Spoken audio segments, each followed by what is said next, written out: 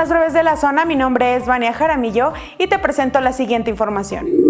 El alcalde de León, Héctor López Santillana, lamentó que la ciudad se haya vuelto atractiva para que personas cometan delitos como los fraudes financieros. Esto luego de la detención de ocho personas que integraban la banda de hackers. La Fiscalía General de la República informó ayer que catearon 11 domicilios en fraccionamientos exclusivos. Ahí aseguraron 27 vehículos y camionetas de lujo. De paso, López Santillana exigió que la federación tenga más intervenciones en León contra el crimen organizado, como las que ya ha realizado en semanas pasadas.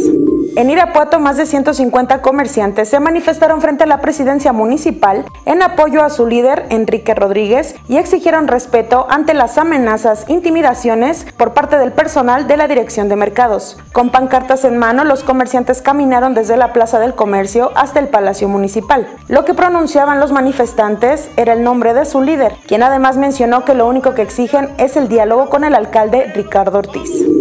El goleador del Club León, Ángel Mena, está convencido que el equipo responderá este domingo a la vuelta ante las Águilas del América. Después de tener un complicado duelo en la corregidora, la Fiera quiere hacer un mejor partido y regalar una victoria a su afición en casa. Mena no se preocupa por la falta de gol que ha tenido esta temporada. Expresó que lo más importante es que se marque el equipo que juega en el Estadio León este domingo.